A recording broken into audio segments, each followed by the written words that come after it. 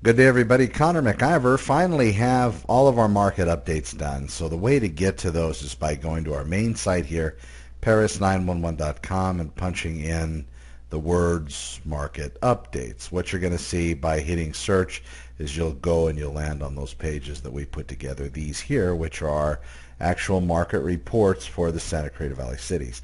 Now, on a weekly basis, we do categorize this data. We get it from Altos Research, which is an independent research company that we have specifically hired to bring our clients this kind of data, this information. So it's going to go through it. It's going to show you everything that's going on within the Santa Clarita Valley cities.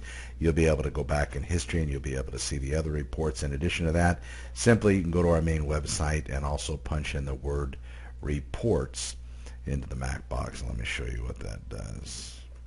You'll then be able to get your, your very own reports just by going here, select one of the cities, and of course you can pull all the zip codes, just one of the zip codes and so on. You can also pull it for condos and then again single family residences if you wish right here. So that's all the information for Santa Clarita Valley. So let's get into these market reports. Looking at Canyon Country, we do have a flat price trend. Currently, average price per square foot, $154. These are for condos and townhomes, by the way.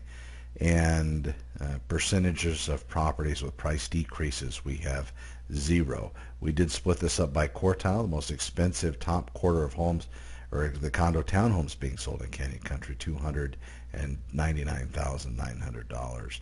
Moving into Newhall, California right here, let's see where we are. We're flat there as well regarding condos and townhomes at $157,500. Saugus is also flat, condos and townhomes, which is different than the past. We've had property prices going up all across the cities in Santa Cruz Valley. Looking at the condos and townhomes in Stevenson Ranch, we do have an upward price trend, which is not unusual. We do have a flat average uh, price per square foot or asking price per square foot, and an increase in days on market. Moving into Valencia for condos and townhomes, we also have an increasing price trend.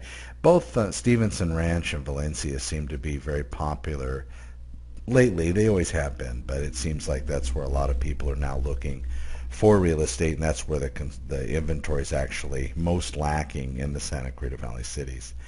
Let's go ahead and look at the single-family residences. In Acton, we have an upward price trend as well. These are for single-family homes.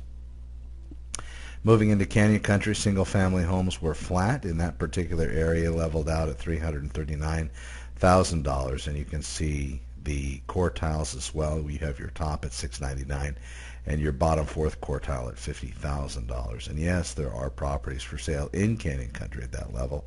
Reach out and we'll show you where they are. Castaic Canyon Country, we're also experiencing a flat time as far as last week to this week. Newhall, California, we have an increased price trend at $517,000. So that area is going up. Regular Santa Clarita, we have a downward price trend, which is unusual. We haven't seen a downward pull in quite a while. Moving into Saugus, we have an upward price trend, median sales price of that 430 to 475. We also have an increase to $208 per square foot. Moving into Stevenson Ranch, $688,500. We have a decrease in uh, price per square foot at 230. Homes are getting smaller. Moving into the Valencia area, 469,000 makes it even. So that's going to be our median sales price for Valencia. Again, very simple. Just go to our main site. You can punch in the word market updates here. You'll be able to get the rest of the information. Thank you so much for listening, watching, actually. I'm Connor MacIvor, Remax's Paris 911 team. Hope to speak to you soon. And remember, just get trusted advice out there before you jump into anything related to real estate. It's really important so you don't get taken advantage of. Be safe, and I know we'll talk to you soon. Thanks again.